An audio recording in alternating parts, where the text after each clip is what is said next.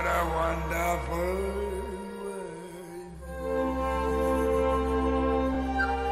안녕하세요. 저는 28살 김동규입니다. 플랫폼에서 대리운전 일을 하고 있고요. 경력은 8개월 정도 됐습니다. 남보다 1초라도 빨라야 좋은 콜을 잡을 수 있기에 휴대폰에서 한시도 눈을 떼지 못합니다. 이제 시간도 달라지고 요금도 달라지기 때문에 새로 고침할 때마다 계속 눌러줘야 되고 플랫폼 대리운전의 경우 요즘 말로 하면 순간 삭제라고 순삭 순삭이 많이 되기 때문에 그냥 계속 놓지 않고 보는 편입니다. 어? 성공. 배정되었습니다. 출발지로 이동해 주세요.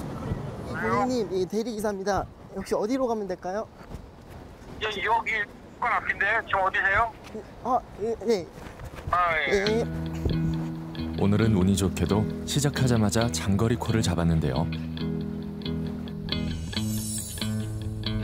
아 지금 깜빡이지. 예, 예. 어, 얼마나 했어요? 6개월, 운전 경력은 2년. 운전할 수 있겠어요? 예. 조용히 하세요. 예. 제가 생각하고.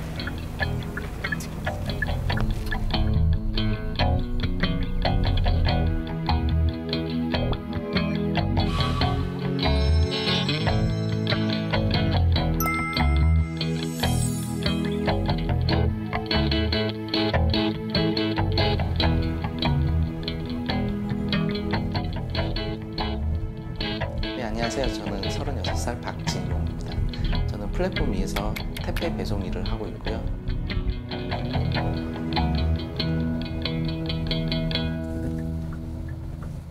밤 10시 박진용 씨가 도착한 곳은 일명 캠프라고 불리는 한 물류창고입니다. 자신의 차량을 이용해 물건을 배송하려는 사람들이 모이는 곳인데요. 한 플랫폼 배송업체에서 직원 대신 건당 배송 기사를 모집할 때 진용 씨도 이 일에 뛰어들었습니다. 심야 같은 경우는 1시쯤에 신청을 할 수가 있어요. 카카오톡으로 이렇게 와요. 채용되었습니다. 이렇게.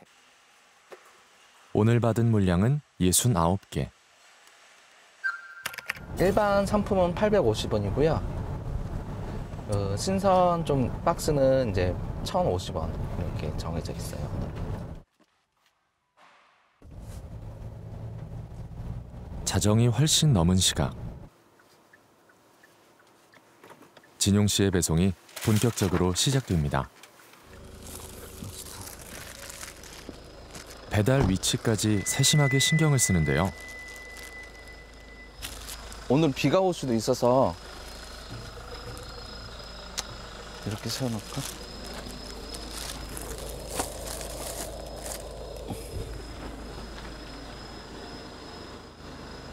고객한테 뭐 이걸 아침 7시쯤에 문자로 보내주는 거예요. 배송을 했다 이 앞에 문 앞에 뒀는데 이치를 모르실 경우 그리고 증거 우리가 배달을 했다는 증거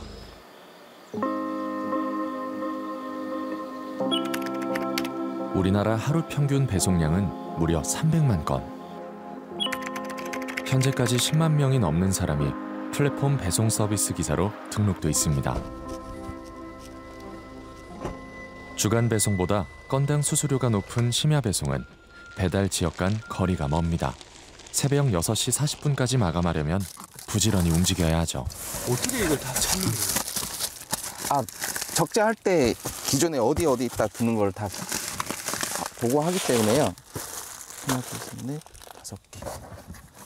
배송 순서에 따라 물건을 싣는 노하우도 필요합니다.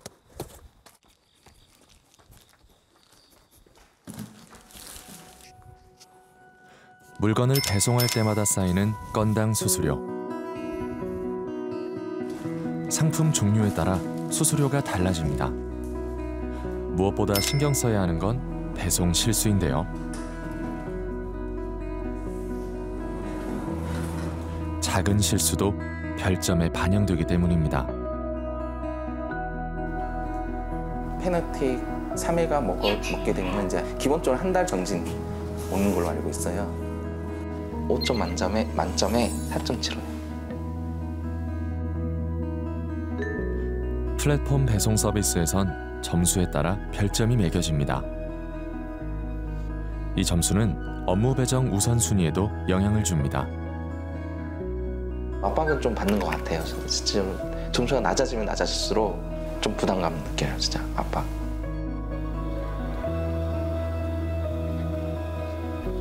고졸 출신인 진용 씨에게 플랫폼은 새로운 기회였습니다.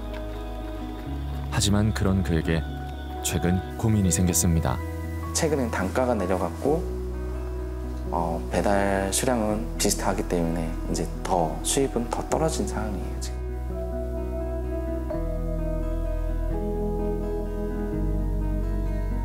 새벽 4시가 넘어서야 끝난 심야 배송.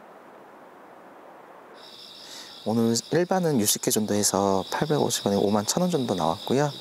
그리고 어, 신선 제품이 한 9개 정도 됐기 때문에 대략 금액으로 보면은 약 한 6만 원 정도 수입이 있었습니다.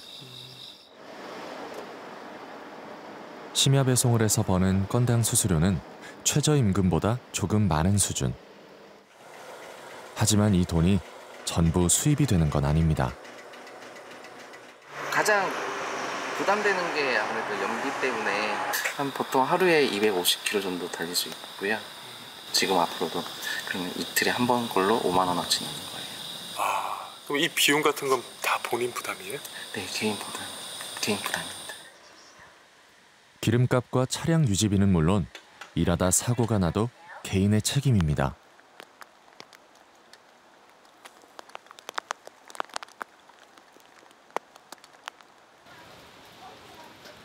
일을 하며 알게 된 동료들과의 식사 자리. 나이도 성별도 다 다르지만 저마다의 사정으로 플랫폼에서 배송 일을 하고 있습니다. 비 오는 날 하는데 부들부들 이슬비처럼 오니까는 할만해. 비 와도 뭐 그냥 문제가 안 돼. 문제가 됐던 게 이제 그거지. 갑자기 소나기처럼 막 막와 떨어졌을 때. 어, 나 진짜 그때 한 30분 동안 가만히 그냥 서 있었다. 하고. 어 너무 쏟아지니까 못하겠더라고. 비 와도 뭐 그냥 문제가 안 돼. 요즘 이들이 만나면 빠지지 않는 주제가 있습니다. 제일 나는 제일 고민되는 게 그거야. 단가가 떨어졌다는 거. 네, 예전에 단가. 비해서 많이 떨어졌어. 너무 많이 떨어졌어. 확 떨어졌죠. 확 떨어졌어 진짜. 그래서 고민하게 돼요, 자꾸. 그러니까 경쟁은 심해지는데 단가는 낮아지니까 아무래도 돈이 이제 안 되는 거예요, 전보다는. 최근 플랫폼 배송 서비스에 뛰어드는 사람이 늘면서 단가가 낮아지고 있지만 이 일을 그만둘 순 없습니다. 6층까지 올라가야 되는 거예요. 자, 열시다. 어? 5만 동. 5만 동이야? 열시인데 집에 신고를 안 하냐? 내일도 배송을 하려면 오늘 신청해야 합니다. 하지만 신청한다고 모두에게 기회가 주어지는 건 아닙니다. 배송 플랫폼에 등록된 사람만 10만 명.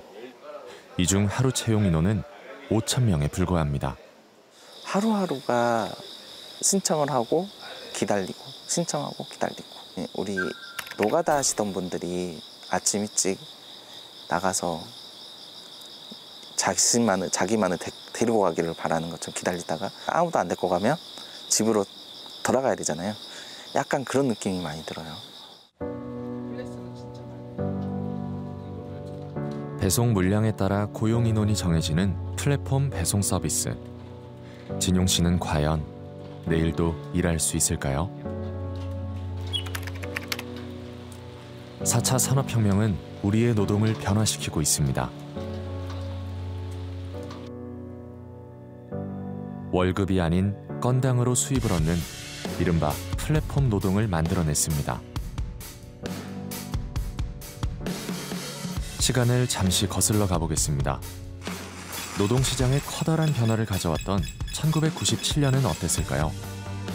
정부가 긴박한 외환 위기를 수습하기 위해서 IMF 즉 국제통화기금의 긴급 자금 지원을 요청하기로 결정했습니다.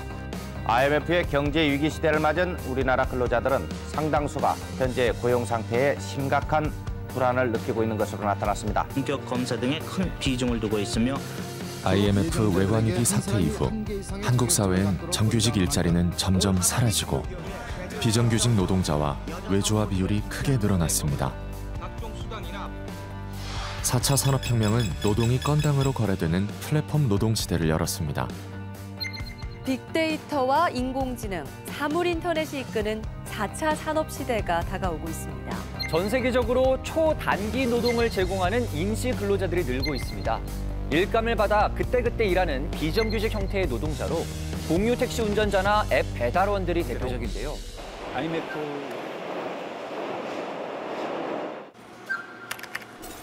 저는 26살 김수양입니다. 플랫폼 위에서 메이크업 일을 하고 있고 이 일을 한 지는 2년 정도 됐습니다. 일용직 노동자죠. 쉽게 말하면 그냥 프리랜서로 건바이 건으로 계약을 한다? 라고 생각을 하시면 되고 프리랜서 메이크업 전문가인 수양 씨는 최근 재능 공유 플랫폼에서 메이크업 강좌를 개설했습니다. 안녕하세요. 안녕하세요. 오래 기다리셨어요? 아니요, 아니요. 안 기다리셨어요? 괜찮아요? 립스틱? 색조 주로 쓰는 거를 뭐 가운데다 놔주시고 그리고 많이 안 쓰는 거 내가 잘 못 쓴다 이런 거는 이쪽에다가 놔주시면 돼요. 플랫폼에서 고객이 상담한 내용을 중심으로 이루어지는 맞춤형 수업. 수양 씨의 수업은 수업 내용과 시간에 따라 가격이 결정됩니다. 혹시 네. 메이크업 언제부터 시작하셨어요? 아 메이크업이요? 메이크업? 메이크업으로 돈을 번 거 아니면 아예 시작을 시작한 거? 시작한 거? 저, 저 15살 때부터 15살이요? 중학교? 중학교 2학년? 재능 공유 플랫폼에 등록된 프리랜서는 약 2만 명. 이곳 역시 선택을 받는 건 소수입니다. 메이크업 하시는 분들도 되게 많은데 여러분이신데 직접 받기 전에는 어떤 분이신지 되게 평가를 할 수 없으니까 그런 리뷰 평가가 중요한 것 같아요 선택하는 데. 그 문자로도 연계되고 앱에 상위 10%만 선택받는 재능 공유 플랫폼. 이곳에서 일거리를 얻는 수양 씨에게 가장 중요한 건 고객이 남긴 별점입니다. 별점 몇 점이에요? 오늘? 5입니다. 만점이에요? 네, 후기가 40개이고요. 후기도 개수가 많으면 좋겠네요. 좋은 내용으로. 좋은 내용으로 많으면 좋죠. 나쁜 내용으로 많아도 좋아요. 후기를 많이 안 보시는 분들도 있어요. 우선 이렇게 돼 있으면 상위에 뜨니까. 그 상- 개수가 많으면 상위에 뜨는 거죠. 후기 개수가 많으면. 아 리뷰가. 네, 근데 이제 별점이 높으면 제일 먼저 뜨고.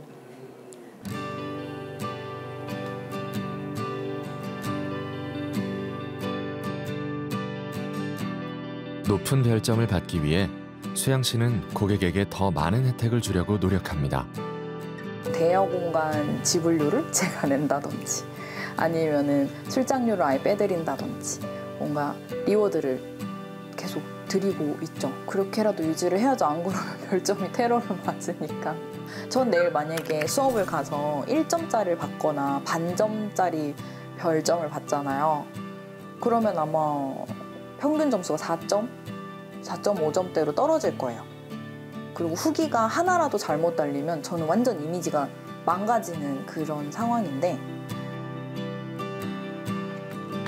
노동자가 상품처럼 별점으로 평가받는 플랫폼 세상. 그렇게 별점이 달리는 순간까지 긴장의 끈을 놓을 수 없습니다.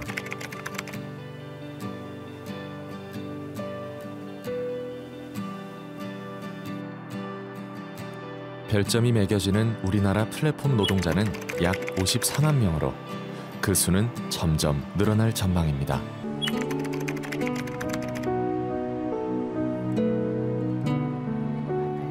플랫폼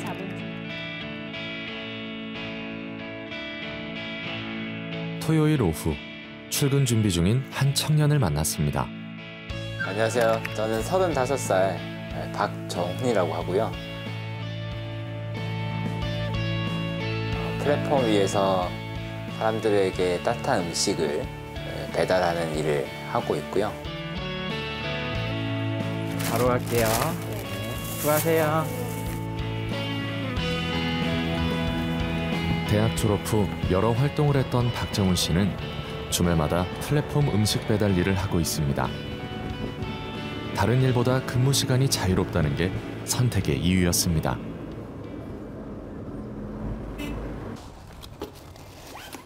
네, 맛있게 드세요.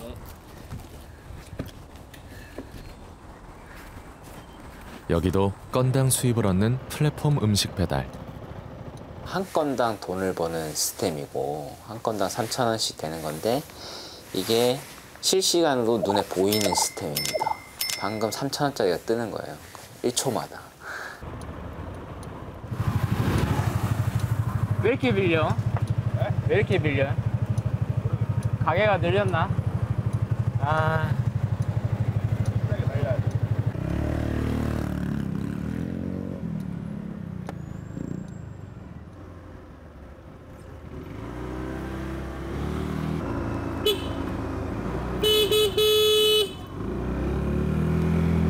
한 건이라도 더 배달하려고 서두르다 보면 위험한 상황이 벌어지기도 합니다.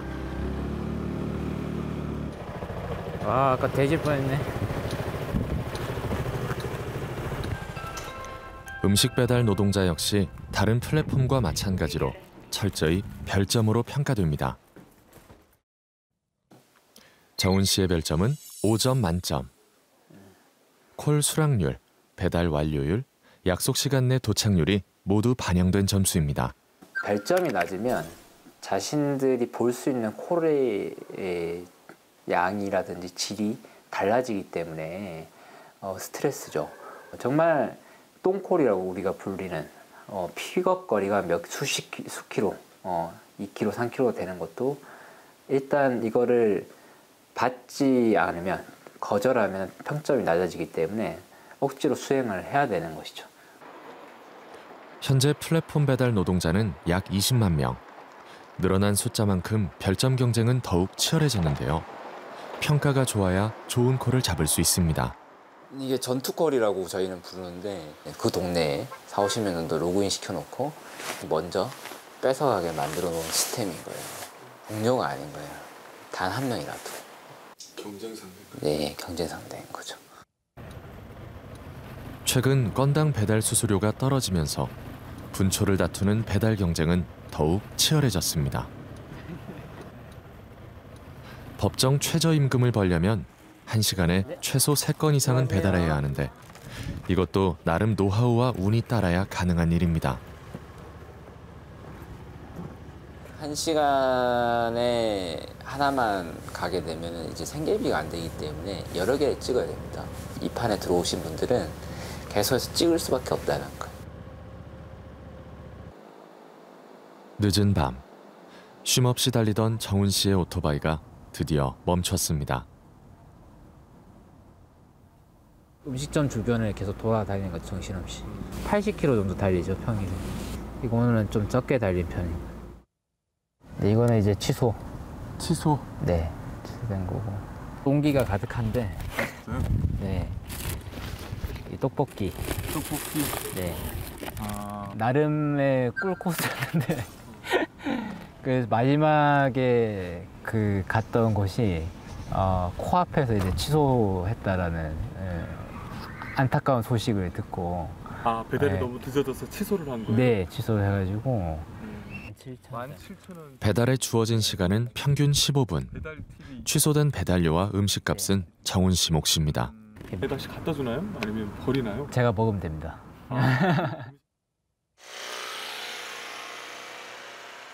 플랫폼 노동자의 월 평균 소득은 약 152만 원. 올해 최저 월급인 179만 원에도 못 미칩니다. 최저임금 적용 대상이 아닌 플랫폼 노동자의 건당 수익 또한 계속 감소하는 추세입니다.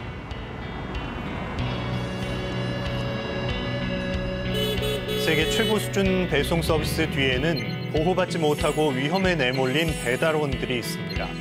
비정규직, 임시직, 초단기직 등 다양한 형태로 일하고 있는데 노동자로 인정받는 경우는 거의 없습니다. 건당 3,000원의 돈을 벌기 위해 플랫폼 배달 노동자들은 휘말리는 초단위 경쟁, 죽음을 부르는 속도 경쟁에 내몰리고 있습니다.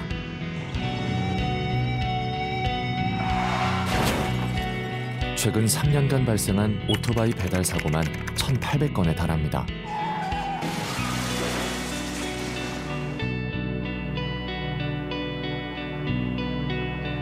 일을 마친 정훈 씨가 천안의 한 병원을 찾았습니다.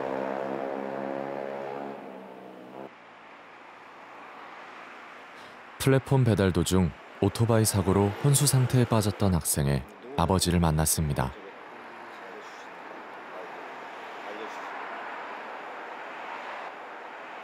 여기서 유식 돌아왔을 때 찍은 겁니다. 처음 밥 먹는 거. 죽이죠, 죽. 살이 많이 예. 빠졌네요. 예, 이때는 이때 많이. 빠졌는데 6개월 만에 의식을 되찾은 아들. 플랫폼 배달 노동자들의 사고는 끊이지 않지만 업체는 아무런 책임도 지지 않습니다. 고용했다가 사고 나서 나몰라라 하면 그건 말이 안 되는 거잖아요. 자기는 아무 잘못 없듯이 그냥 그런 시스템을 이용해 갖고 정말 화가 납니다. 저는. 개인 사업자로 분류되는 플랫폼 노동자는 산재가 인정되는 경우가 거의 없습니다. 대부분 노동자로 인정받지 못한 채 법의 사각지대에 방치돼 있습니다. 우리나라 청년 산재 사망 사고 중 가장 많은 건수가 배달 사고로 인한 죽음입니다. 국내 최대 배달의 배달의 민족이 독일 기업 DH에 인수됐습니다. 인수 금액이 무려 5조 원 가까운 규모입니다. 새 요금 체계 논란이 일었던 배달의 민족. 이 소상공인들이 가뜩이나 어려운 상황에서 꼼수로 수수료 부담을 크게 늘렸다며 반발했는데요. 국내 1위 업체 배달의 민족이 노동자들이 받는 배달 수수료를 매일매일 바꾸면서 노동자들이 크게 반발하고 나섰습니다. 안전하게 일하고 싶다. 안전벨트로 도입하라. 도입하라. 도입하라. 도입하라. 지난 2월 플랫폼 배달 노동자들이 행동에 나섰습니다. 이들이 바라는 건 안전한 일터와 공정한 요금입니다. 저쪽을 보시죠. 형제들이라는 간판을 달아놓고 5조짜리 매각을 이루어낸 회사가 바로 여기에 있습니다. 그리고 지금 이 거리에 배달료 3,000원을 받고 일을 하는 라이더들이 있습니다. 대표님! 플랫폼 기업은 그동안 노동자와 서비스 이용자를 중개만 한다는 이유로 노동자의 안전과 처우에는 관심을 기울이지 않았습니다. 이런 가운데 노동자들의 처우는 갈수록 낮아지는 반면 기업은 성장을 거듭하고 있습니다.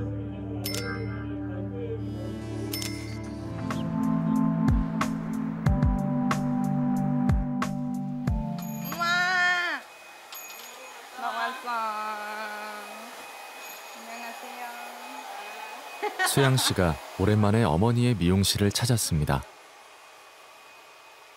20년 경력의 베테랑 미용사인 이경화 씨는 그녀의 어머니이자 수양 씨의 남다른 재능을 일찍부터 알아봐준 대선배이기도 합니다. 비슷한 길을 걷고 있지만 모녀가 일하는 방식은 많이 달라졌습니다. 어머니와의 대화 중에도 휴대폰에서 손을 놓지 못하는 수양 씨. 어 그거 그 레슨 레슨 연락 지금도 와. 일하는 중이네 그러면 그것도? 퇴근 없어. 밤에 연락이 진짜 많이 온다? 퇴근하고 나서? 나 어저께도 이틀 전에 연락 왔던 걸 못 본 거야, 내가.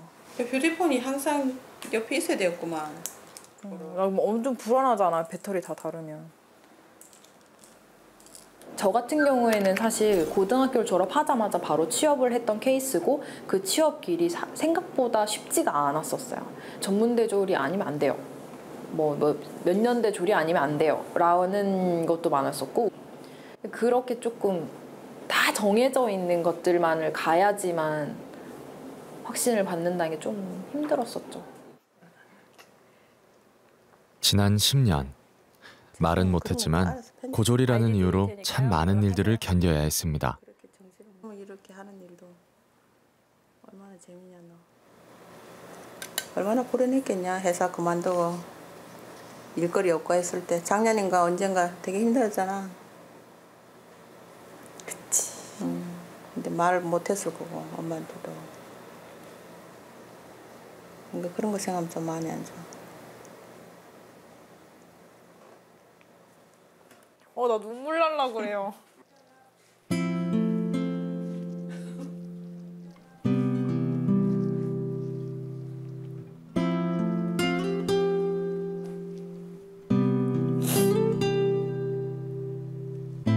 어린애가 서울에서 얼마나 힘들었겠어. 되게 너무 고맙죠. 그런 거 생각하니까 누구보다 열심히였고 쉬지 않고 일했습니다. 보면 시집 가는 날인 줄 알겠는데 신부들이 그렇게 오는데 시집 가는 날이 메이크업 받으러. 야, 난늘 시집 가면 안 오거든. 수양 씨는 플랫폼을 통해 또 다른 도전을 준비하고 있습니다. 진용 씨는 낮아진 배송 단가 때문에 플랫폼 음식 배달 일까지 병행하고 있습니다. 어느 누구나 마찬가지일 거예요. 이게 꿈이라고 하는 사람들은 없을 거예요. 난 이 일을 하고 싶어. 이 일을 열심히 해야겠어. 라는 사람들은 없을 거예요.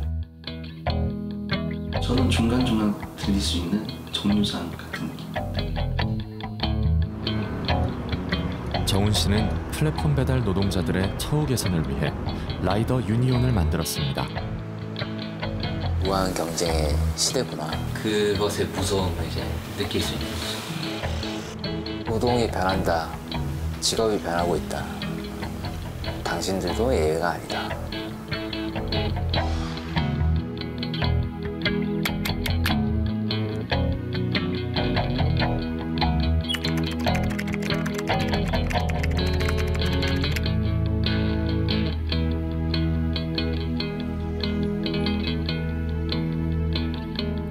누구나 알지만 아무도 몰랐던 플랫폼 위 우리 이웃들의 이야기.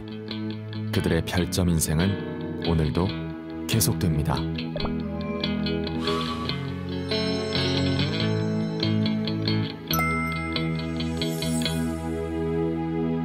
한 분이 가입을 하셨습니다. 그래서 제적 인원은 마... 자기 일의 이해를 위해서 싸우는 곳입니다. 맞습니다. 모든 것을 걸고 싸우는 사람들입니다. 우리가 3천 원을 위해서 독하게 거리를 누비는 동안 어떤 누구는 아저씨 날씨 대책 마련하라. 라이더를